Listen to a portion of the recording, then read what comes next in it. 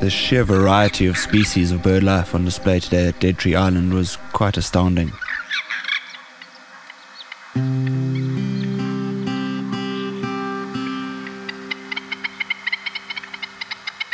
There were several small groups and pairs of Egyptian geese wandering around the floodplain. These geese are, are quite funny to watch. They waddle around with such an air of self importance. They, they strut around as if they own the place. At one stage, a pair had a, had a very long and very vigorous bath in, a, in an open patch of water.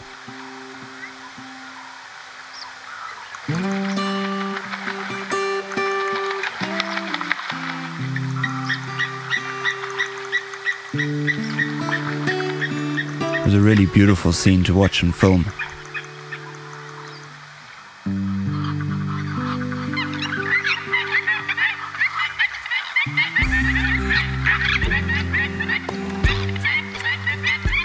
Bit later on, a, a group of black-winged stilts engaged in what must have been a, a territorial battle of sorts.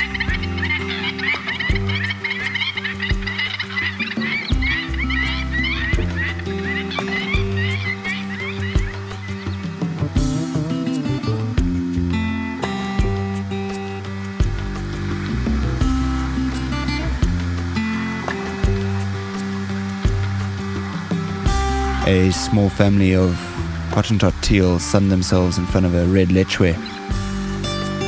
This is such an iconic Okavango Delta scene with water birds in front of the semi-aquatic antelope. It was really quite telling of the area that we're in.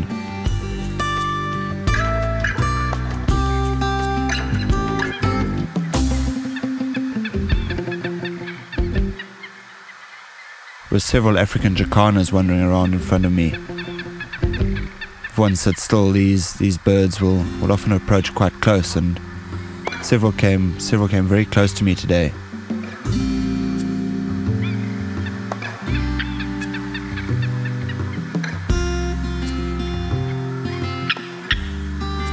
Just sitting patiently today, watching this this variety and this, this depth of life in front of us was was really quite amazing. It's it's such a, a privilege to be able to, to sit in a place like this.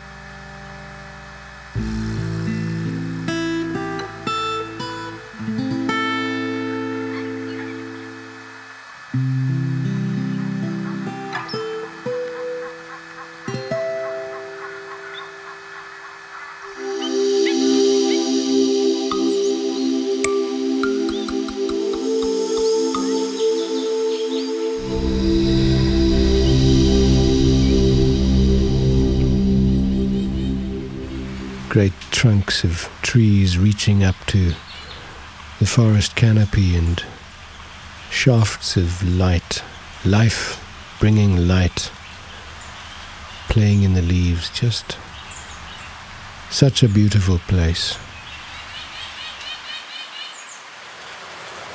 The first thing we hear today is a is the buzzing of a thousand wings, a beehive in a fallen tree trunk, and the bees, extremely active in gathering as much pollen for honey as they can to see them through the barren winter months which are lying just ahead.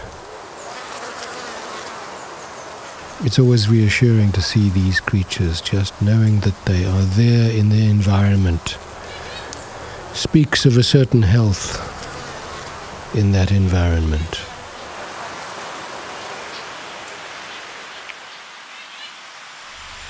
The little things and hear the web of what looks to me like a garbage line spider, one of the many of that species. A delicate creature, invisible until it moves.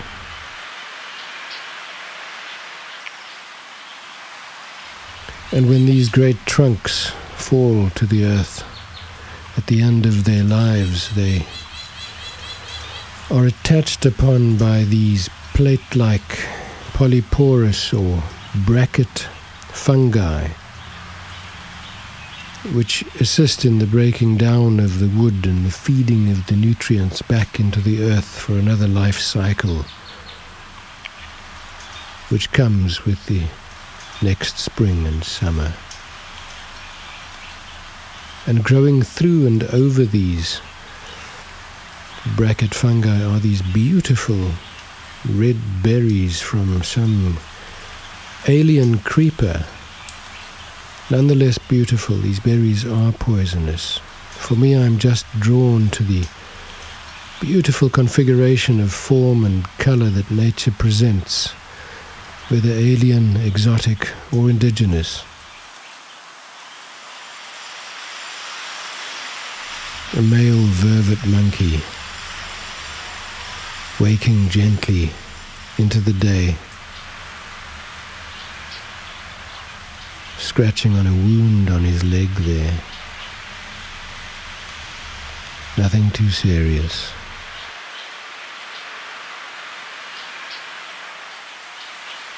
Just sitting in the treetops, observing us who walk on the forest floor. And here the feathered remains of what looks like a wood owl that met its timely death at the claws or teeth of a predator, perhaps a genet. Just reassuring to see that the cycles of life continue here in the Hawaan forest.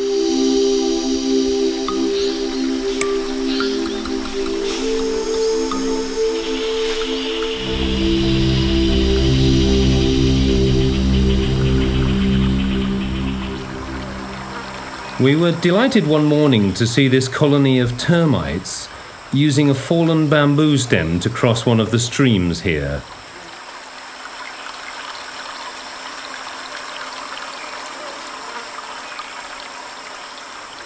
I was told that some kinds of termites move home regularly as the food close to them runs short, and perhaps that is what is happening in this case.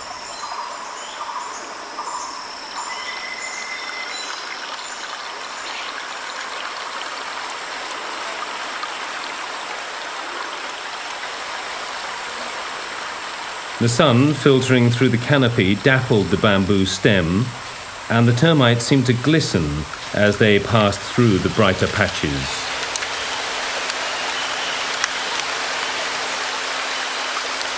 Unfortunately, we must have arrived towards the end of this move, as fairly soon the numbers started to dwindle to a trickle.